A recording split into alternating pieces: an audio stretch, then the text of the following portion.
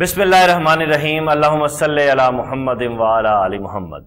Koh Noor news کی خصوصی افطار ٹرانسمیشن میں وقاص عزیز اس دعا کے ساتھ خوش آمدید کہتا ہے، اپنے دیکھنے والوں کو، چاہنے والوں کو اور ان تمام لوگوں کو جو آج پہلی بار راہ فلاح کا حصہ بننے جا رہے ہیں کہ رب کریم امت محمدی صلی اللہ علیہ وآلہ وسلم اور امت مسلمہ کو تا قیامت راہ فلاح اور صراط مستقیم کا مسافر رکھے۔ آمین، الہی آمین۔ ناظرین کرام، اولاد اور ماں باپ کا رشتہ۔ بالکل ایسے ہی ہوتا ہے جیسے پلک جھپکنے کا رشتہ ہوتا ہے۔ اولاد جب جوان ہوتی ہے اور اپنی زندگی کے اگلے مرحلوں میں داخل ہونے لگتی ہے تو ماں باپ رخصت ہو جاتے ہیں۔ یا زندگی کے وہ حصے جہاں ان کو ہونا ہوتا ہے وہ وہاں موجود نہیں ہوتے۔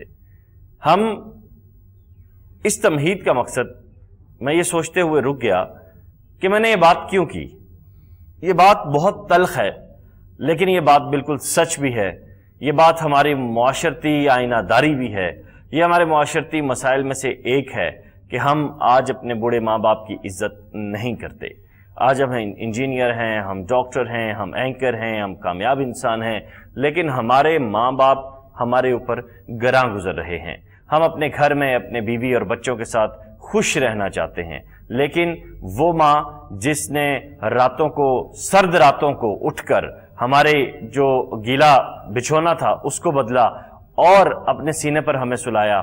وہ باپ جس نے دن کی تپتی ہوئی دھوپ کی پرواہ نہ کرتے ہوئے ہمارے ٹھنڈے دودھ اور ہمارے اناج کا اور ہماری زندگی کی ضروریات کا انتظام کیا، اپنے آپ کو زندگی کی چکی میں اور مشقت میں گھسیٹا اور اب جب اسے ہماری توجہ کی ضرورت ہے تو ہم اپنی خوشیوں کی جانب دیکھتے ہیں۔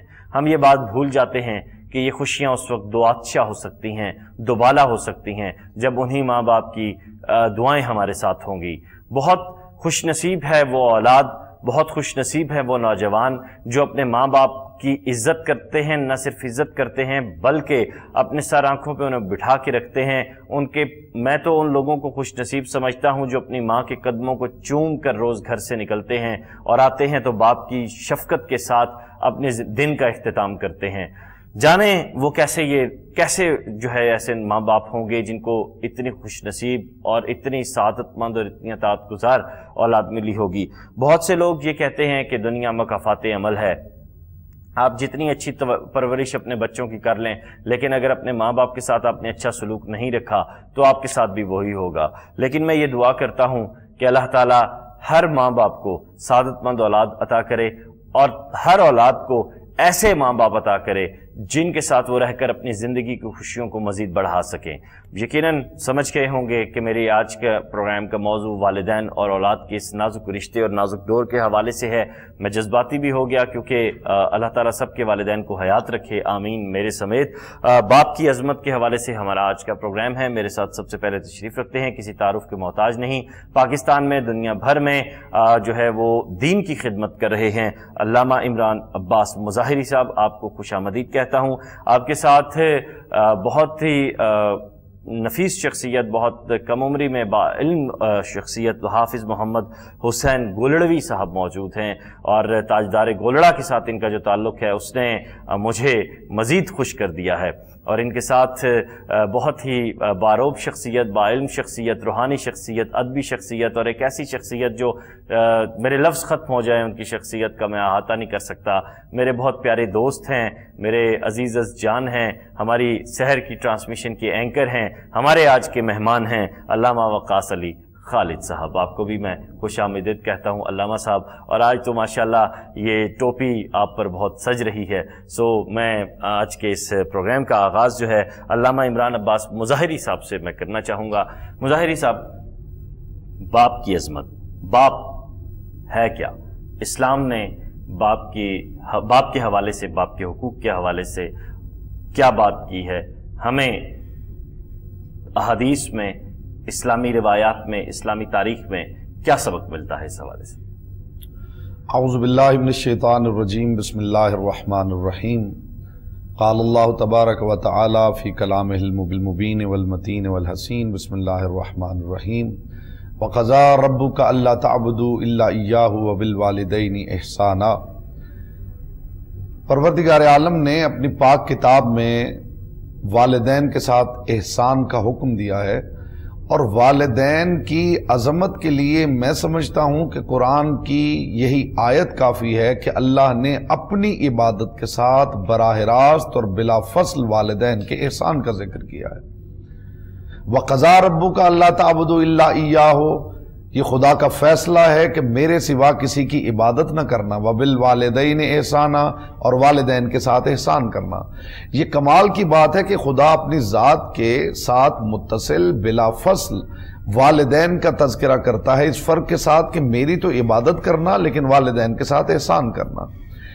بہت سے لوگ جو ہیں، ان کا یہ خیال ہے کہ والدین اگر اچھے ہوں تو ان کا احترام ہے اور برے ہوں تو ان کا احترام نہیں ہے، یا میں ایک بات واضح کر دوں۔ دیکھیے، ایک لفظ ہے اب، ایک لفظ ہے والد۔ اسی طرح لغت عرب میں ایک لفظ ہے ام، ایک لفظ ہے والدہ۔ اب والد کہلاتا ہے، والد والد ہوتا ہے۔ یعنی آپ کا چچا بھی آپ کا اب کہلا سکتا ہے، آپ کا تایا بھی آپ کا اب کہلا سکتا ہے، آپ کا بزرگ بھی آپ کا اب کہلا سکتا ہے، لیکن والد وہ ہے جس کے آپ سلبی بیٹے ہیں۔ اسی طرح ام ایک لفظ ہے جس کو ہم جب ٹرانسلیٹ کرتے ہیں تو اس کا ترجمہ ہم کرتے ہیں ماں۔ تو ام کے معنی جو ہیں وہ ماں تو ہیں، لیکن ام کے حقیقی معنی ماں نہیں ہے ام ام کا مطلب ہے ماں، اصل۔ چونکہ ماں بھی اصل ہے تو اس لیے ماں کو بھی ام کہا جاتا ہے۔ لیکن جس کے کوک سے جنم کسی نے لیا ہے وہ اس کی والدہ ہے۔ تو عربی میں یہ لفظ مختلف ہیں۔ چونکہ بات ہو رہی ہے باپ کی عظمت پر تو کائنات کے رسول محمد مصطفیٰ صلی اللہ علیہ وآلہ وسلم کا فرمان واجب الازان ہے کہ ابو کا سلاستن تمہارے تین باپ ہیں۔ من ولد کا ومن علم کا ومن زوجے کا۔ جس نے تمہیں جنم دیا وہ بھی تمہارا باپ ہے، جس نے تمہیں علم دیا وہ بھی تمہارا باپ ہے، اور جس نے زوجہ کی حیثیت میں تمہیں اپنی بیٹی دی وہ بھی تمہارا باپ ہے۔ اور اہمیت والدین کی آپ یہ دیکھیں کہ وہ معاملات جو ذات پروردگار سے متصل ہیں، معذرت چاہتا ہوں، وہ معاملات، وہ ایکٹیویٹیز وہ اعمال جو ذات واجب الوجود یعنی اللہ کے ساتھ مربوط ہیں۔ ان کو خدا نے براہ راست والدین کے ساتھ جوڑ دیا ہے۔ یہ بڑی عجیب بات ہے۔ یعنی اگر آپ قرآن پڑھیں تو ہم تو ہمیشہ جب بھی ہمیں کہیں سے فائدہ پہنچتا ہے تو ہم شکر ادا کرتے ہیں۔ شکر للہ، اے پروردگار، تیرا شکر ہے۔ ہماری دانش میں شکر صرف اللہ ہی کا ہو سکتا ہے، لیکن اگر آپ قرآن پڑھیں تو خدا ارشاد فرماتا ہے انشکر لی والے والدیک تمہیں ماں نے نو مہینے تمہارا بوجھ اٹھایا ہے، دو سال تمہیں دودھ پلایا ہے۔ یہ میں یہ میں یہ چاہتا ہوں کہ تم میرا بھی شکر ادا کرو اور اپنے والدین کا بھی شکر ادا کرو۔ یہ قرآن ہے۔ انشکر لی والے والدے کہ میرا بھی شکریہ ادا کرو، میرا بھی شکر کرو اور والدین کا بھی شکر وَإِلَيَّ الْمَسِيرِ تمہیں میری طرف ہی پلٹنا۔ تو دیکھیے وہ شکر جو ہم نے ذات واجب کے لیے رکھا ہے کہ ہم شکرن للہ کہیں گے تو ہمارا شکر قبول ہوگا۔ خدا نے کہا ہم میرا شکر بھی ادا کرو اور اپنے والدین کا شکر بھی ادا کرو۔ گویا لفظی اعتبار سے صحیح، خدا نے اس مقام شکر میں والدین کو اپنے ساتھ رکھا ہے۔ پھر آپ اگر قرآن مجید کا مطالعہ کریں تو خدا جہاں حکم دیتا ہے کہ والدین کے ساتھ کیسا سلوک کیا جائے تو ارشاد پروردگار ہے وحفظ لہما جناح ذل من الرحمہ الرَّحْمَةِ رب رَبِّ کما رب یعنی صغیرہ اپنے دونوں شانے اپنے والدین کے سامنے جھکا دو۔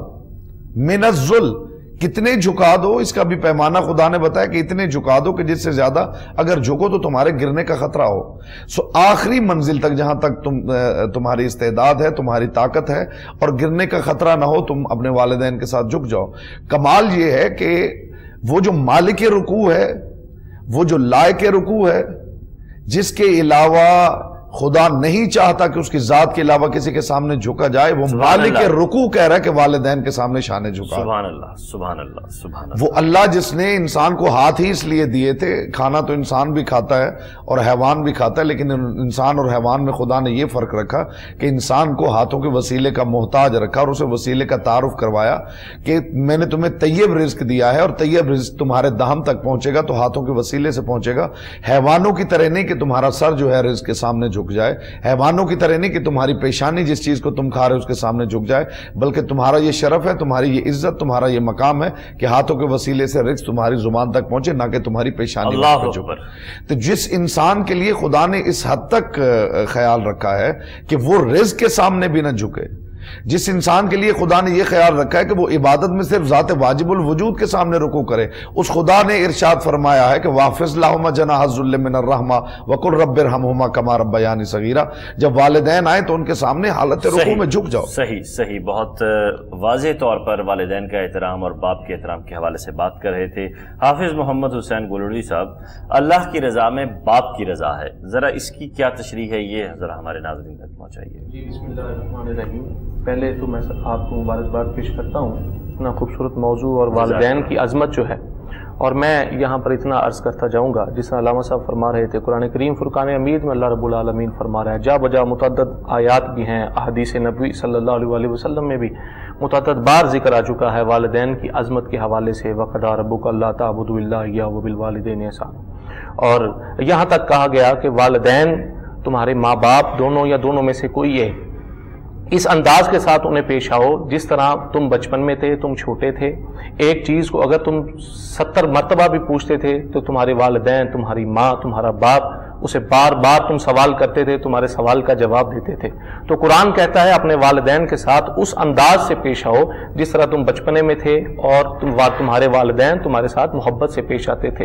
اور آج جب وہ بڑھاپے کو پہنچ گئے ہیں تو آج تمہارا حق یہ بنتا ہے کہ تم بھی ان کے ساتھ اسی انداز کے ساتھ پیش آؤ اسی اسی انداز سے ان کی خدمت کرو۔ اور پھر باپ جو ہے وہ دنیا کا وہ شخص ہے جو خود سے زیادہ آپ کو کامیاب دیکھنا چاہتا ہے۔ بے شک اللہ اکبر سبحان اللہ۔ یعنی وہ اپنی زندگی بسر کر چکا ہے۔ اور اس کی خواہش یہ ہے، اس کی طلب یہ ہے، وہ سارا دن تھکا کام کرتا ہے، دن رات کام کرتا ہے۔ کس کے لیے؟ اپنی خواہشات کو ترک کر کے، بالا طاق رکھ کر، صرف اور صرف اس کا مقصد یہ ہوتا ہے کہ اللہ نے یہ جو مجھے اولاد عطا فرمائی ہے، یہ ایک عظیم نعمت ہے۔ اللہ نے مجھے اولاد عطا فرمائی، وہ اپنی اولاد کے لیے اپنی خواہشات کو چھوڑ کر، ترک کر کے اپنی اولاد کی خواہشات کو پورا کرتا ہے۔ تو یہ اپنا، اور پھر یہ وہ عظیم ہستی ہے کہ جس کے پسینے کی ایک بوند کی قیمت بھی اولاد ادا نہیں کر سکتی۔ بے شک۔ ایک بوند کی پسینے کی ایک بوند کی قیمت بھی اولاد ادا نہیں کر سکتی۔ یہ وہ والد ہے یہ وہ ماں باپ کو والدین کو اللہ نے وہ مقام عطا فرما رکھا ہے۔ اور یہاں پر میں حضرت سعدی رضی اللہ تعالیٰ عنہ آپ سرکار کی بارگاہ میں حاضر ہوئے اور عرض کی یا رسول اللہ صلی اللہ علیہ وآلہ وسلم آپ فرمائیں کہ ہم ہمارے والدین کے دنیا سے چلے جانے کے بعد کوئی ایسے حقوق ہیں جو ان کے دنیا سے چلے جانے کے بعد ہم ادا کر سکیں یا ہمیں ادا کرنے چاہیے؟ تو آقا علیہ السلاۃ والسلام نے ارشاد فرمایا ہاں تمہارے والدین کے تمہارے اوپر حقوق ہیں۔ اب وہ حقوق کون سے ہیں؟ آپ سماعت فرما لیں۔ وہ حقوق پہلا حق یہ ہے کہ والدین جب دنیا سے اگر چلے جائیں تو ان کے لیے خیر و رحمت کے لیے دعا کرو۔ اولاد کا حق یہ بنتا ہے۔ اور ان کے واسطے مغفرت کی دعا کرو بخشش کی دعا کرو اللہ کی بارگاہ میں۔ اور دوسری بات تیسری بات یہ ہے کہ اگر والدین تمہارے باپ نے کسی کے ساتھ کوئی عہد کر رکھا تھا اور وہ پورا نہیں کر سکا اب تمہارا حق یہ بنتا ہے کہ اس وعدے کو اس عہد کو پورا کرو اسے پایا تکمیل تک پہنچاؤ۔ صحیح۔ اور ان سے بڑی خاص بات جو میں عرض کر رہا ہوں کہ ان سے تمہارے باپ کا جن احباب سے تعلق تھا تمہارے باپ کے ساتھ جو رہنے والے تھے محبت کرنے والے تھے ان کے ساتھ رہنے والے تھے تمہارا کام یہ بنتا ہے تمہارا حق یہ بنتا ہے کہ اگر ان سے باپ کے دوست احباب سے تعلق بڑھا نہ سکو تو کم از کم اتنا تعلق ضرور برقرار اور آخری بات کہ ان کے باپ کے دوستوں کے ساتھ تمہارا کام یہ بنتا ہے۔ آخری حق جو علیہ السلام نے ارشاد فرمایا کہ تمہارے باپ کے جو دوست ہیں، تمہارا حق یہ ہے کہ ان کا اسی انداز کے ساتھ احترام کرو جس طرح تم اپنے باپ کا احترام کرتے تھے۔ سبحان اللہ سبحان اللہ سبحان اللہ۔ علامہ وقاص علی خالد صاحب، والد پر محبت بھری ایک نظر ڈالنے کا کیا اجر ہے؟ کیا کہنے جناب وکاس عزیز صاحب؟ اور کیسا خوبصورت آج کا عنوان ہے؟ ہمارے سارے مہمان بڑی اعلیٰ اس پر گفتگو کر رہے ہیں اور آپ نے خود بڑی اعلیٰ اس پہ روشنی ڈالی ہے۔ والد باؤ الف لام دال یہ چار حروف ہیں۔ واؤ سے مراد ہے وفا والا۔ دنیا میں انسان وفا تلاش کرتا ہے کہ اس کو وفا مل جائے اور وفاداری کے چکر میں نہ جانے وہ کہاں کہاں جاتا ہے۔ اگر تم وفا تلاش کرنا چاہتے ہو تو تمہارے گھر میں، تمہارے باپ کی صورت میں موجود ہے۔ الف سے مراد ہے اعلیٰ مقام والا۔ بچوں کے لیے سب سے اعلیٰ و برتر جس کے لیے مقام و مرتبہ ہے جو لائق عزت ذات ہے، وہ ان کا والد ہے۔ اور دال سے مراد، لام سے مراد ہے لطف و کرم والا۔ لطف و کرم کی تلاش میں انسان رہتا ہے، تو والد اپنے بچوں سے جو محبت کرتا ہے، جو لطف و کرم کرتا ہے، اس کی مثال پیش نہیں کی جا سکتی۔ اور دال سے مراد ہے دستگیری کرنے والا۔ وہ ایسی دستگیری کرتا ہے کہ بچوں کے پاس گر دولت نہیں ہے، بچوں کے پاس مال نہیں ہے، وہ خواہشات پوری کرنا چاہتے ہیں۔ تو بچوں کی خواہشات پوری کرنے کے لیے ان کو منمانیاں کروانے کے لیے باپ ہی ہمیشہ منظر عام پر آتا ہے۔ تو انسان کو سب کچھ جو مقام و رتبہ ملتا ہے وہ باپ سے ملتا ہے۔ برکت و بزرگی والی شخصیت آپ کا باپ ہے۔ اساس و اصل انسان کی اس کا باپ ہے۔ پیار و محبت الفت دنیا میں دینے والی انسان کو باپ کی ذات ہے کہ باپ کا رتبہ و مقام خالق کے کائنات اتنا بلند عطا فرمایا ہے کہ انسان کو عدم سے وجود میں لانے کا جو سبب بنا ہے وہ انسان کا باپ ہے۔ اور باپ کو رائے عرض پر بسنے والے تمام انسانوں کا جو باپ ہے وہ ان کے لیے لائق عزت ہے، لائق محبت ہے، لائق احترام ہے۔ آج ضرورت اس امر کی ہے۔ ہمارے دونوں سکولرز نے بات کی ہے، والدین سے اس نے سلوک کرنے کی بات کی ہے۔ وکاس عزیز صاحب، ہم بھی اس سوسائٹی کا حصہ ہیں۔ یہاں پر بستے ہیں، یہاں پر والدہ، ماں کی عظمت و شان کو تو اجاگر کیا جاتا ہے۔ جو سب سے زیادہ اگنور ہوتا ہے وہ باپ ہوتا ہے۔ آپ نے اس عنوان کو چن کر بڑا ہی بڑا ہی اعلیٰ جو ناظرین پر محبت کے ساتھ جی، کیا کہہ رہے ہیں وہ اس لیے وکاس صاحب باپ اگنور اس لیے ہوتا ہے کہ یہ عورتوں کا معاشرہ ہے مردوں کا معاشرہ نہیں ہے۔ اگر مردوں کا معاشرہ ہو تو پھر ماں جو ہے وہ اس میں میں ایک سوال اور برسبیل تذکرہ ایک سوال اور بھی آ رہا ہے اور اس کا جواب میں بریک کے بعد واپس آ کے آپ سے لیتا ہوں کہ باپ کے ساتھ محبت کو اجاگر کرنے میں اور باپ کے ساتھ اولاد کو اٹیچ کرنے میں ماں کا کیا کردار ہوتا ہے۔ یہ بہت اہم سوال ہے، اس پہ واپس آتے ہیں اور وکاس علی خالد صاحب سے دوبارہ بات کرتے ہیں۔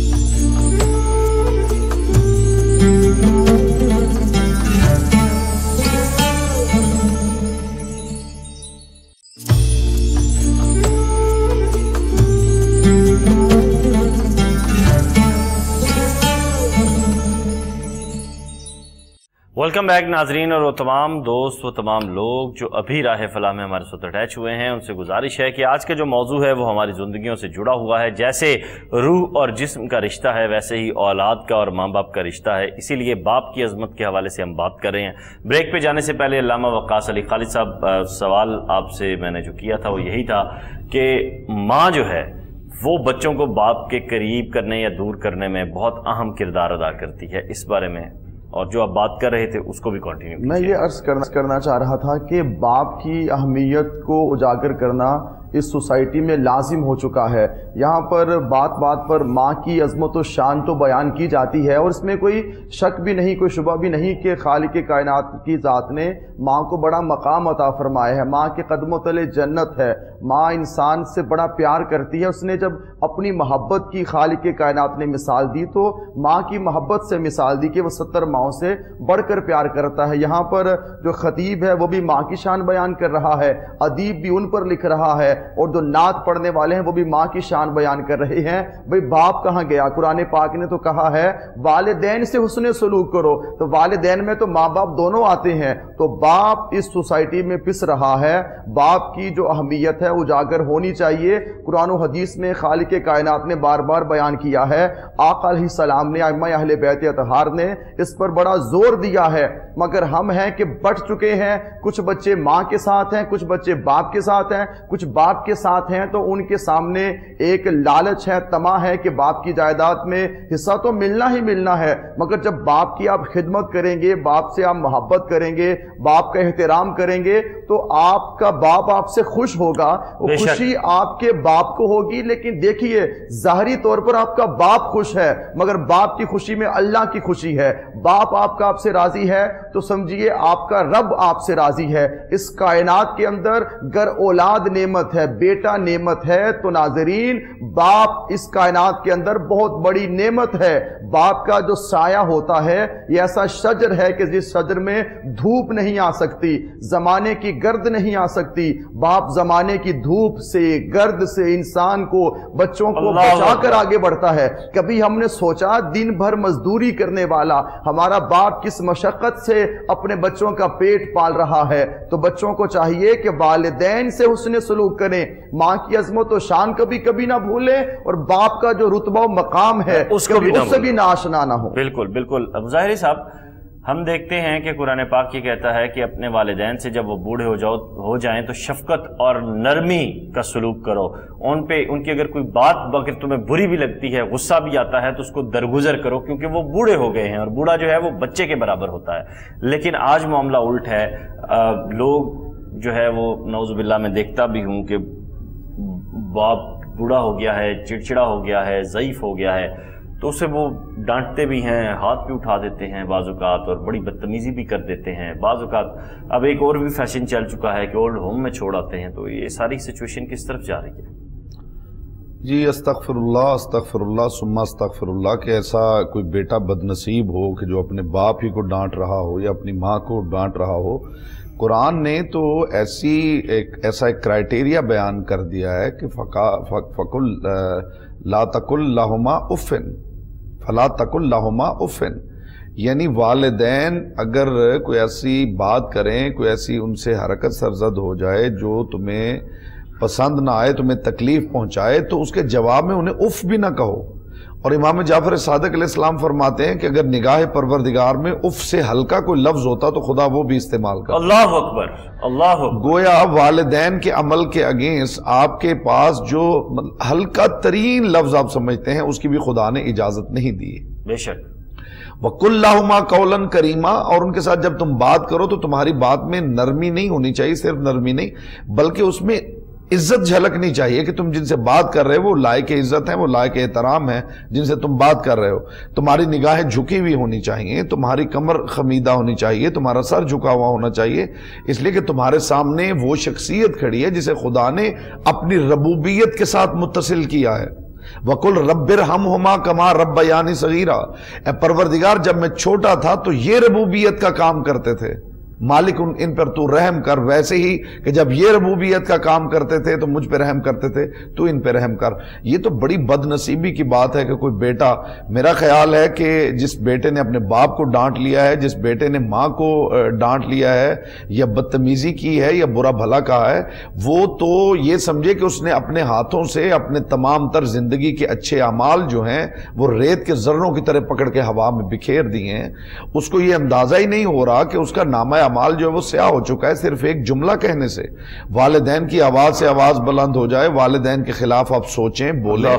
آپ نے تو اپنی زندگی کے سارے اعمال جو ہیں وہ ضائع کر لیے ہیں۔ کائنات کے رسول نے میں سمجھتا ہوں یہ بھی احترام والد میں یہ بڑی مبند و معاون یہ بات ہے کہ رسول اکرم صلی اللہ علیہ وآلہ وسلم نے فرمایا یا علی انت و انا ابوا حاضح الامہ۔ اے علی تو اور میں اس امت کے دو باپ ہیں۔ یہاں پہ جو بات ہم کر رہے ہیں اس میں ایک بات بڑی قابل غور ہے۔ اور لحاظ رکھنے کی ضرورت ہے، وہ یہ ہے کہ بچہ جب اپنے والد کے ساتھ بدتمیزی کرتا ہے، برا سلوک کرتا ہے، تو اس کو ذرا تھوڑا ماضی میں بھی دیکھنے کی ضرورت ہے کہ کہیں اس بچے نے اس باپ کو اپنے باپ کے ساتھ ایسا سلوک کرتے ہوئے تو نہیں دیکھا۔ ہمارا معاملہ یہ ہے کہ آج میں اپنے باپ کے ساتھ تو بد تہذیبی کے ساتھ پیش آ رہا ہوں اور میں یہ احساس نہیں کر رہا کہ وہ اس وقت بچہ جو میری گود میں موجود ہے، یہ میرے سامنے زمین پہ کھیل رہا ہے، وہ اس سارے معاملے کو صرف دیکھ نہیں رہا بلکہ اپنے دل اور اپنے دماغ اور اپنے شعور کے اوراق پہ اسے ثبت کر رہا ہے اور ریکارڈ میں لا رہا ہے۔ کل یہی بچہ ہوگا اور پھر میں ہوں گا جیسے میں اپنے باپ کے سامنے بول رہا ہوں یہ بچہ میرے سامنے بول رہا ہوگا تب تو لوگ اس بچے کو کنڈیم کریں گے کہ یہ بڑا بد تہذیب بچہ ہے بڑا برا بچہ ہے۔ دیکھو اپنے باپ کے سامنے بول رہا ہے لیکن اس کے بولنے میں ninety nine point ninety nine percent اس باپ کا بھی حصہ ہے کہ جو اپنے باپ کے سامنے بولا کرتا تھا اور اس بات کا احساس نہیں کرتا تھا کہ میرے اس عمل کو میرا یہ چھوٹا بچہ دیکھ عمل کہتے ہیں یہ مقافات عمل بھی ہے۔ اچھا اس میں ایک یہاں نقطہ یہ بھی پیدا ہوتا ہے کہ ایک شخص نے یہ تو چلیں مسلم اولاد کے لیے ہو گیا ایک شخص ہے، اس نے ابھی اسلام قبول کیا ہے نو مسلم ہے وہ۔ تو اپنے غیر مسلم باپ کے ساتھ وہ بدتمیزی کر سکتا ہے کسی بھی معاملے جی بدتمیزی تو کسی کے ساتھ بھی نہیں کر سکتا۔ یہ تو باپ ہے۔ غیر مسلم، ویسے ہی غیر مسلم ہوں، اس کے ساتھ بدتمیزی نہیں کر سکتا۔ یہ تو باپ ہے۔ باپ ہونے کی حیثیت سے باپ کو ایک پریولیج حاصل ہے۔ دیکھیے، ایک چیز ہے رسپیکٹ ایک چیز ہے پریولیج یہ دونوں مختلف چیزیں ہیں۔ مثلاً ایک نیک باپ، ایک مسلمان باپ، ایک مومن باپ۔ اس کو باپ ہونے کی حیثیت سے بہت سے رائٹس حاصل ہیں، بہت سے پریولیجز حاصل ہیں، ساتھ اس کے احترام بھی اسے حاصل ہے۔ اگر باپ غیر مسلم ہے، تو اسے وہ رسپیکٹ حاصل نہیں ہے، لیکن باپ ہونے کی حیثیت سے اسے پریولیج حاصل ہے کہ اس کا بیٹا اس کے ساتھ بدتمیزی نہ کرے۔ اس کا بیٹا اس بات کا خیال رکھے کہ اس نے مجھے جنم دیا ہے۔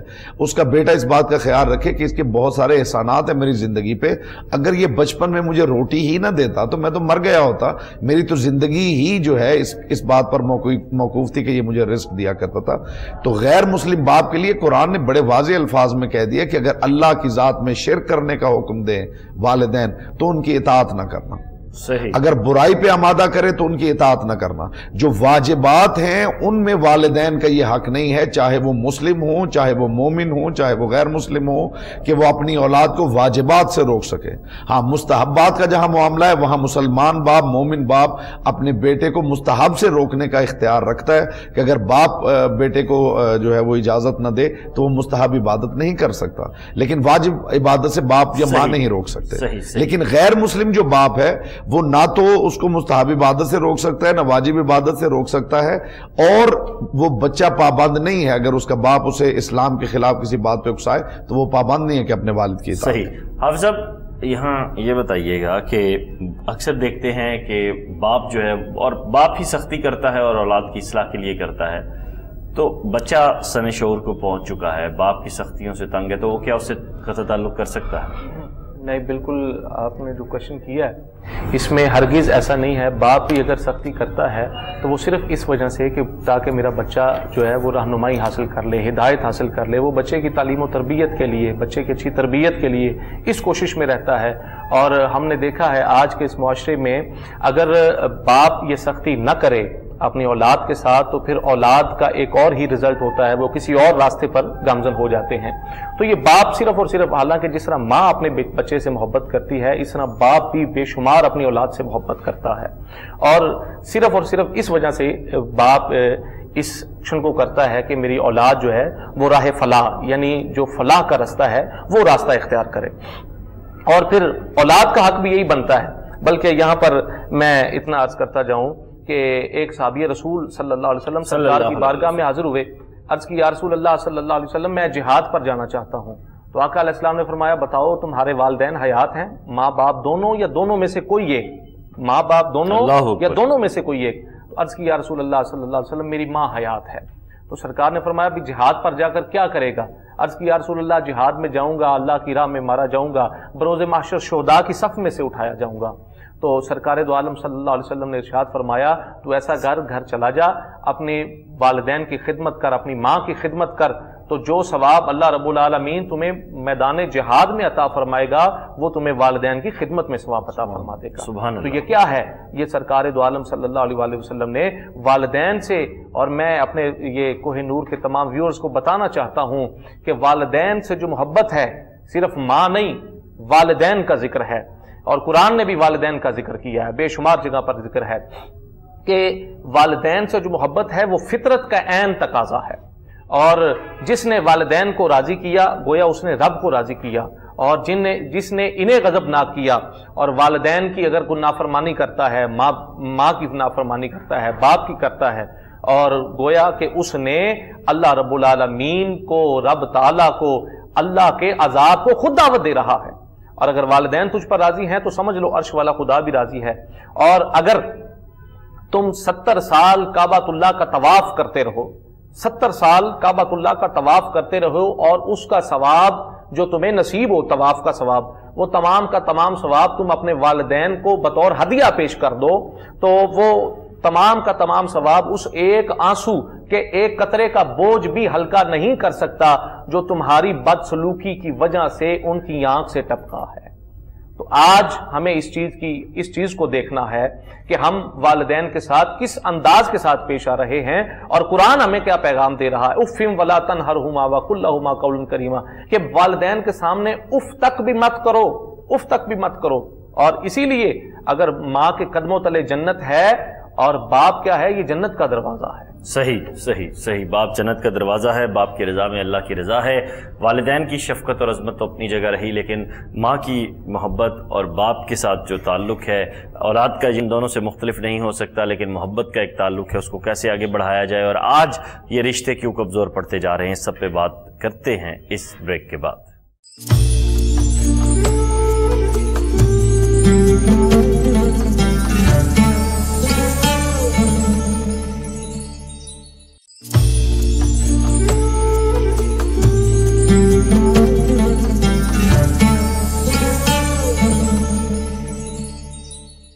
ویلکم بیک ناظرین، اور بات کر رہے ہیں ہم آج باپ کی عظمت کے حوالے سے اور یقیناً بہت ہی محترم یہ رشتہ ہے علامہ وقاص علی خالد صاحب. غریب والد کو اس کی تنگ دستی پر اور کفایت شاری پر طنز کرنا، تانے دینا مطلب ایک بچہ ہے، وہ آگے کہتے ہیں جناب، میں نے آج شرٹ لینی ہے، آج موبائل لینا ہے، لیکن باپ بمشکل مشکل جو ہے، وہ تین وقت کی روٹی اور اس کی تعلیم کا خرچہ برداشت کر رہا ہے۔ تو اس پہ اس سے لڑائی کرنا، تو اس اسلام اس کے بارے میں کیا کہتا ہے؟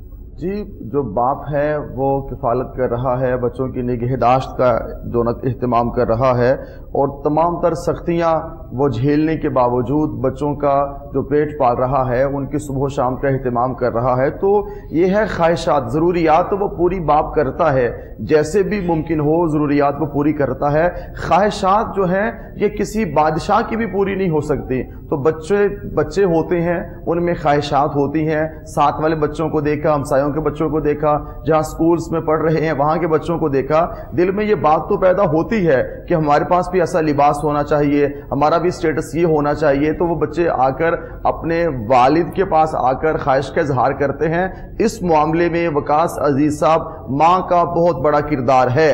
اس مقام پر بچے چاہیں تو والد کو انتہا کا تنگ کر سکتے ہیں۔ ماں سمجھائے تو بچے والد کے آگے بات نہیں کر سکتے۔ والدہ کا حق بنتا ہے کہ سمجھائے کہ بچوں، تمہارا باپ اس کی سیلری اتنی ہے یا وہ کاروبار کرتا ہے، اس کے وسائل اتنے ہیں۔ اتنے وسائل میں وہ آپ کو یہی دلوا سکتا ہے۔ ہاں جب عید آتی ہے، عید پہ نئے کپڑے وہ آپ کو بنا کے دیتا ہے، تو باپ سے کسی صورت بھی آپ نے جھگڑا نہیں کرنا۔ کسی صورت بھی آپ نے نہیں لڑنا، یہ تربیت کرنی ہے والدہ نے۔ جب والدہ ایسی تربیت کرنے والی ہوں گی تو بچہ اپنے والد کا ہمیشہ احترام کرے گا، والد کا ہمیشہ وہ عزت کرتا رہے گا اور والد کو عزت کی نگاہ سے دیکھتا رہے گا، بلکہ یہ بات اس کے دل میں گھر کر جائے گی، رچ بس جائے گی کہ والد لائق عزت ہی ہے۔ تو والدہ کا اس موقع پر میرا خیال ہے بہت بڑا فرض بنتا ہے کہ وہ ادا کرے بچوں کی تربیت کرنے میں۔ جب والدہ خود ہی اس کی زبان شکوہ دراز ہوگی تو بچوں میں وہ چیز جو ہے منتقل ہوتی چلی جائے گی۔ ماں بھی باپ پر چڑھ دوڑے گی کہ مجھے یہ چاہیے، مجھے وہ چاہیے۔ اور بچے ہیں، وہ بھی ماں کو دیکھا دیکھی اپنے باپ سے وہ جھگڑا بھی کریں گے۔ ظاہری بات ہے، وہ اونچی آواز میں بات بھی ہو جائے گی۔ تو ادب کا جو مقام ہے، وہ جاتا رہے گا۔ اور ادب اور احترام جو ہے، وہ دور ہوتا چلا جائے گا۔ تو اس موقع پر میں پورے پاکستان، دنیا بھر کے ناظرین سے یہ گزارش کروں گا ماؤں سے کہ باپ کی عظمت و شان بیٹوں کے سامنے آپ نے اجاگر کرنی ہے۔ آپ کا وہ شوہر ہے اور آپ کے لیے وہ ایک عزت کی جگہ ہے۔ آپ اس کی عزت کریں گی تو آپ کی اولاد بھی اس کی عزت کرے گی۔ کیونکہ باپ تو دن بھر باہر رہتا ہے، وہ دن بھر مزدوری کرتا رہتا ہے۔ شام کو گھر لوٹتا ہے، جو شام کو کام کرتے ہیں، وہ صبح گھر لوٹتے ہیں۔ اس لیے اس موقع پر والدہ کا بہت بڑا کردار ہے۔ میں نے ٹھیک کہا تھا پھر کہ میں نے پھر ٹھیک کہا تھا کہ یہ عورتوں کا معاشرہ ہے کیونکہ ماں تو ہمیشہ مظلوم بن کے رہتی ہے۔ میں کوئی ماں کی مخالفت نہیں کر رہا میں آج یہاں تک پہنچا ہوں تو یقیناً اس ہستی کی وجہ سے ہی ہے۔ لیکن جو ہماری معاشرتی غلط رویے ہیں ناظرین ہمیں ان کو ایڈریس کرنا چاہیے ہمیں ان پہ بات کرنی چاہیے۔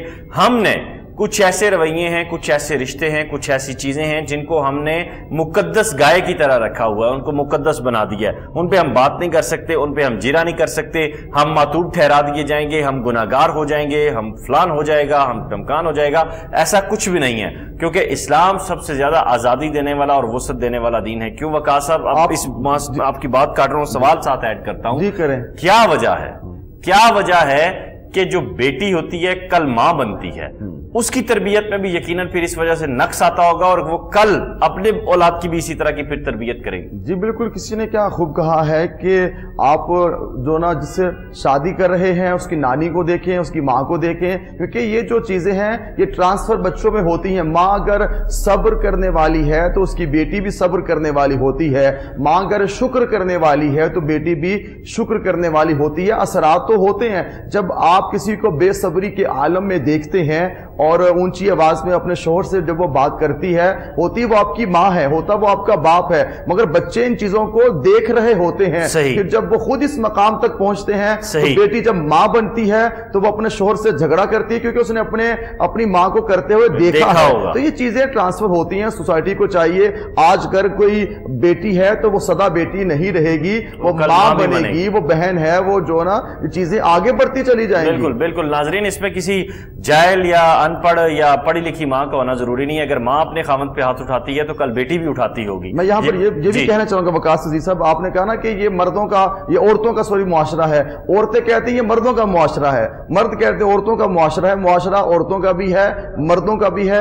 اسی معاشرے میں ہم سانس لیتے ہیں مگر اس معاشرے میں عورت کو چاہیے کہ وہ صبر والی ہے تو صبر والی بن کر بات یہ ہے کہ ہمارا معاشرہ پاکستانی معاشرہ حق اور سچ کا ساتھ نہیں دیتا مظلوم کا ساتھ دیتا ہے۔ تو اسی لیے اس معاشرے میں عورت مظلوم ہے اور وہ سارے عجیز لے جاتی ہے سو معاشرہ عورت کا ہوا۔ ڈیفینیشن دیکھیں سامنے، مظاہری صاحب آگے بڑھتے ہیں تو اب بات آتی ہے جائیداد کی تقسیم کی۔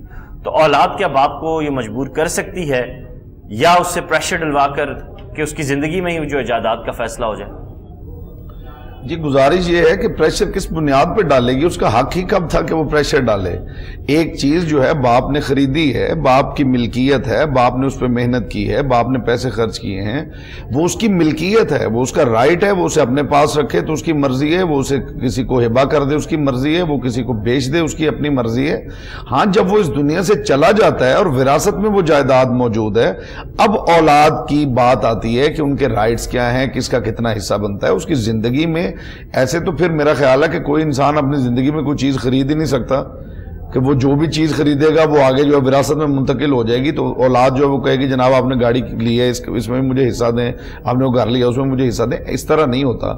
باپ اگر دنیا سے چلا جائے، باپ مر جائے اور مرنے کے بعد جائیداد چھوڑ جائے تو وہ اولاد کا حصہ ہے اپنی زندگی میں باپ کے پاس مکمل وسیعت کا ہونا ضروری ہے؟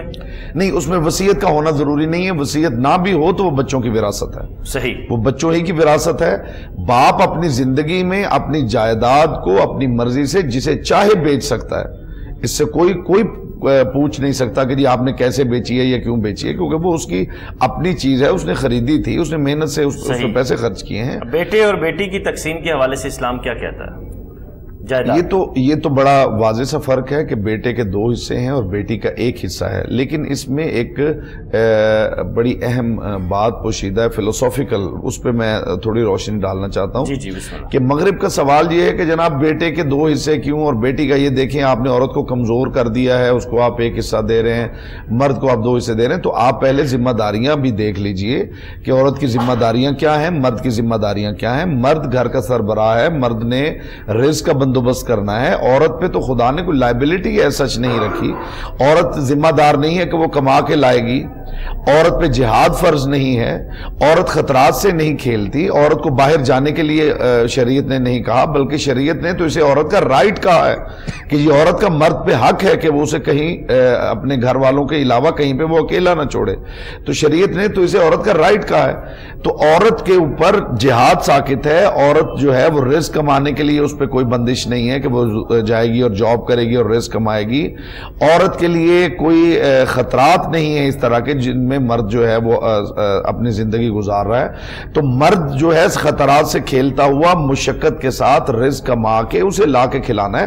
اس لیے اسے پیسوں کی زیادہ ضرورت ہے اس عورت کو زیادہ ضرورت ہے۔ جو اپنے گھر سے جائے گی اور پھر شوہر کی زیر کفالت آ جائے گی پھر اس کا نان و نفقہ اس کے شوہر کے ذمے ہوگا۔ تو اس وجہ سے اللہ نے مرد کے حصے دو رکھے ہیں اور عورت کا حصہ ایک رکھا ہے؟ بالکل مزید بھی بات کرتے ہیں، اس اہم موضوع پہ سینسیٹیو موضوع ہے۔ اس کو لے کر آگے بڑھ رہے ہیں تو میرے ساتھ رہیے، واپس آتے ہیں چند ہی لمحوں کی بریک کے بعد۔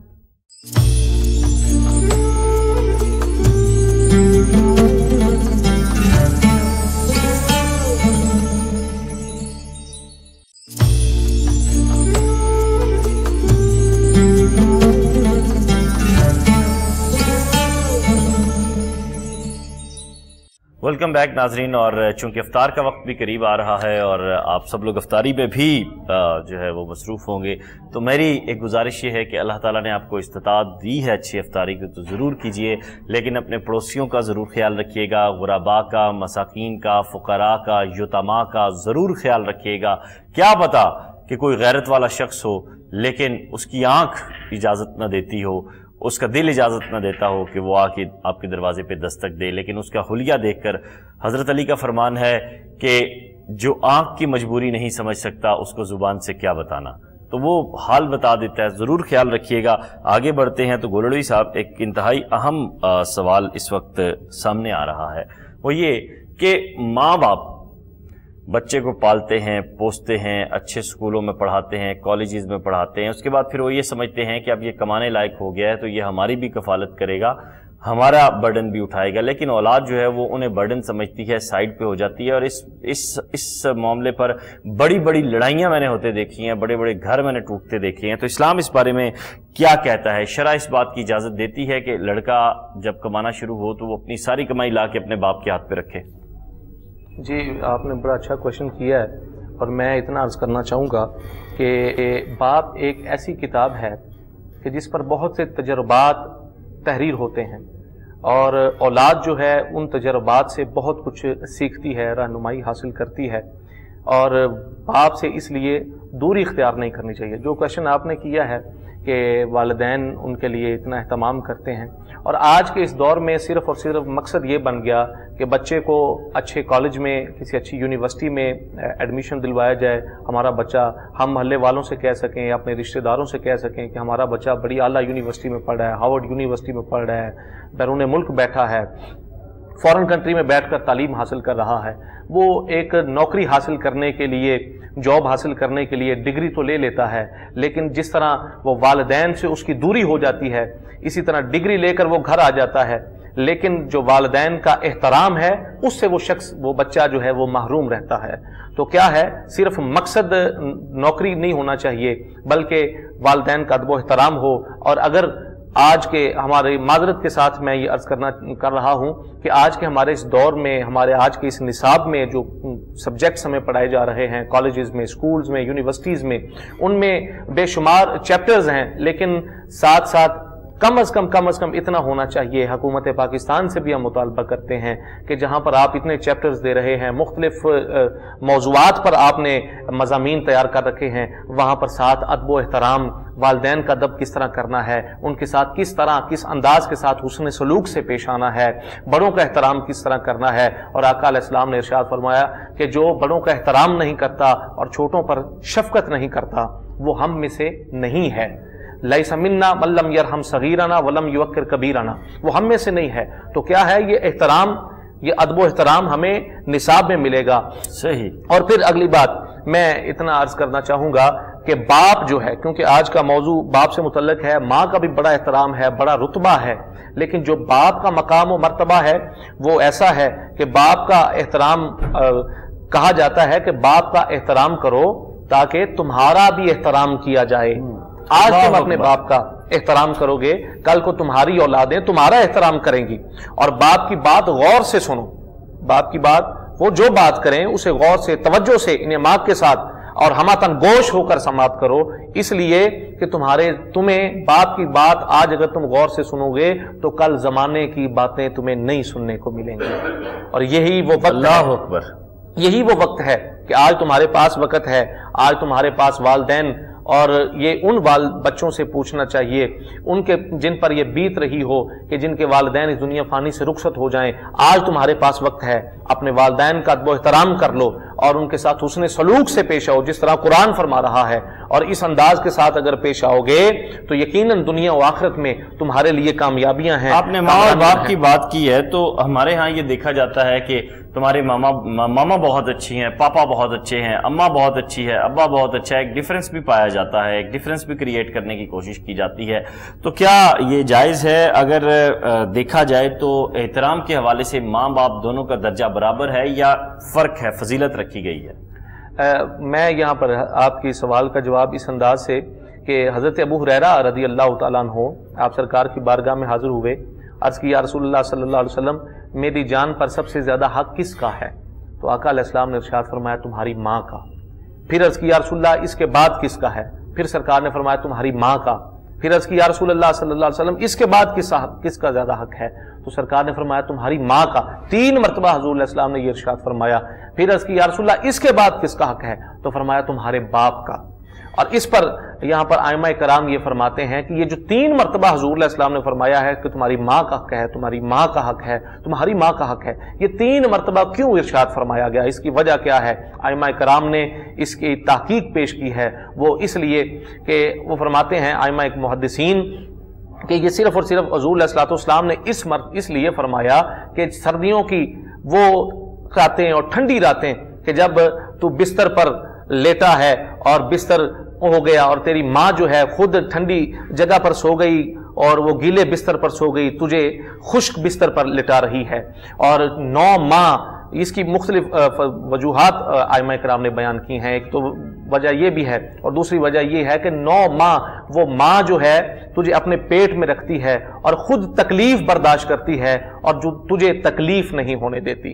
یہ مختلف وجوہات ہیں۔ اور یہی وہ مرتبے ہیں جس وجہ سے ماں کا مقام حضور علیہ السلام نے فرمایا تین مرتبہ سرکار نے فرمایا تمہاری ماں کا حق ہے اور باپ کا حق ایسا ہے باپ ہی وہ شخص ہے کائنات کا وہ شخص ہے کہ جو سارا دن تیرے لیے صرف اور صرف تیرے لیے اپنی اولاد کی خواہشات کو پورا کرنے کے لیے کہ میرا بچہ وہ خود پسینے سے شرابور رہتا ہے لیکن وہ سارا دن صرف اور صرف اس مقصد کے لیے کہ میرا بچہ پڑھ لکھ کر کل کو اچھا کسی اچھی جاب پر لگ اچھا، جائے گا کسی اچھی سیٹ پر بیٹھے گا۔ مجھے اس میں اگر ماں باپ میں ناچاکی ہو نا اتفاقی ہو تب بھی ماں کا مقام زیادہ ہے۔ تب بھی دیکھیں ماں باپ کے ساتھ والدین کے ساتھ اولاد کا حسن سلوک اسی طرح پیش آنا چاہیے۔ ہاں البتہ گھروں میں معاملات کچھ ڈسٹربنس ہو جاتی ہے آپس میں اختلافات بھی ہو جاتے ہیں ماں کا اب باپ کے ساتھ باپ کا ماں کے ساتھ۔ تو اس کا مطلب یہ نہیں ہے کہ ہم ادب و احترام میں ہمیں ہمارا حق یہی بنتا ہے کہ ہم جس طرح قرآن و حدیث نے ہمیں فرمایا ہے، اللہ اور اللہ کے رسول صلی اللہ علیہ وسلم نے فرمایا ہے، اسی طرح والدین کا ادب و احترام کیا جائے۔ ہاں اگر تم صاحب اد ہو، صاحب، اور تمہیں اللہ نے عقل و فہم و فراست عطا فرمائی ہے، تو تمہارا حق یہ بنتا ہے کہ والدین میں اگر کوئی ناچاکی ہو بھی جاتی ہے، تو تمہارے تمہارا حق یہ بنتا ہے کہ ان کے ساتھ ان کے رحماؤ بینہم حسن سلوک سے پیش آؤ آپس میں محبت سے پیش آؤ اور والدین کے ساتھ جس طرح اگر کوئی کمی کوتاہی ہو گئی ہے تو انہیں بتاؤ کہ یہ اختلافات کو بالا طاق رکھ کر چھوڑ کر وہی جو ایک محبت کا رشتہ ہے اس رشتے کو قائم رکھا جائے۔ یہی پھر اگر تم ان میں یہ رشتے کو برقرار رکھنے کی کوشش کرو گے اگر وہ اس پر کامیابی تمہیں نصیب ہو جاتی ہے۔ صحیح صحیح۔ اس پہ مزید بھی بات کرتے ہیں اور یہاں اس وقت مجھے بتایا جا رہا ہے کہ لاہور اس کو گرد و نما میں کچھ ہی لمحوں بعد افطار کا وقت ہوا چاہتا ہے، سو افطاری کی جانب بڑھتے ہیں، واپس پھر مزید بات کرتے ہیں۔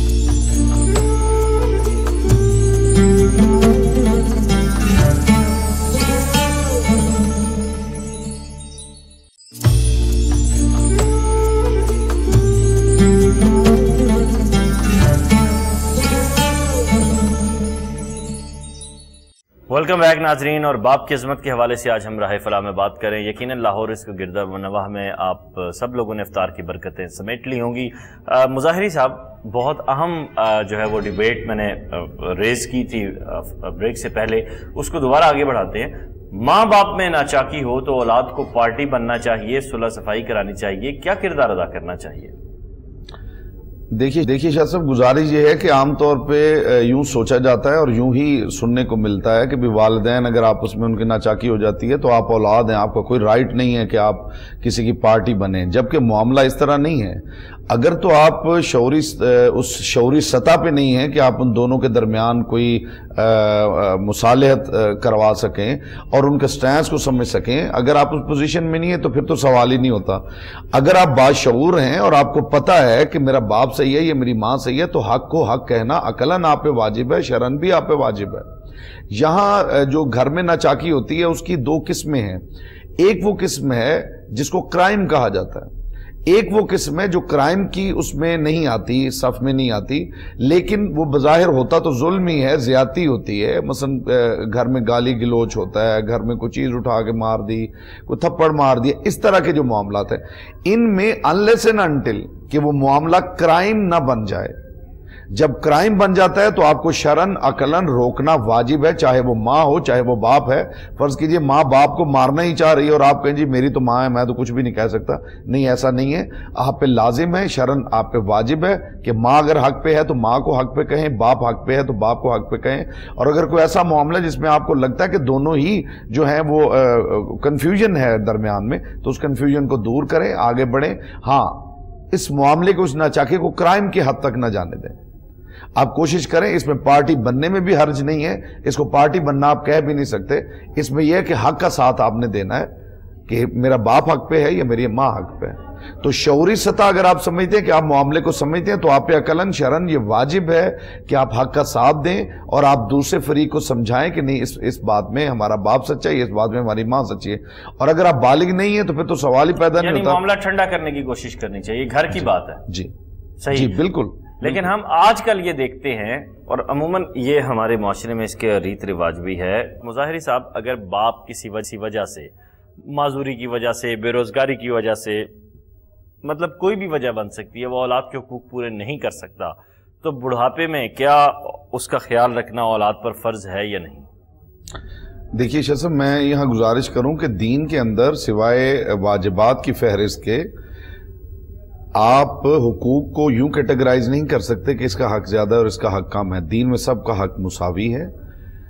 ایسا نہیں ہو سکتا کہ آپ ایک کا حق ادا کرنے کے لیے دوسرے کا حق چھوڑ دیں اور واجبات میں ایسا ہوتا بھی نہیں کہ دو حق آپس میں ٹکرا جائیں۔ صحیح۔ اگر دو حق آپس میں ٹکرا جائیں اور ایک دوسرے کے مقابل آ جائیں تو دین ویسے ہی ختم ہو جائے گا۔ کیسے ایک انسان کے لیے ممکن ہے کہ وہ دو حق ایک وقت میں ادا کرے جبکہ دونوں متضاد ہوں؟ اور وقت ایک ہو، انسان ایک ہو، تو واجبات میں تو ایسا ہوتا ہی نہیں کہ حقوق آپس میں ٹکرا جائے ہاں مستحبات میں ہوتا ہے کہ حقوق جو ہیں ایک دوسرے کے مقابل آ جاتے ہیں۔ وہاں آپ کو پریفرنس دینی ہوتی ہے کہ کس کو کس پہ اہمیت دیا، دی جائے، فوقیت دی جائے۔ لیکن وہ ترجیح جو ہے، وہ ترجیح بلا مرجع نہ ہو۔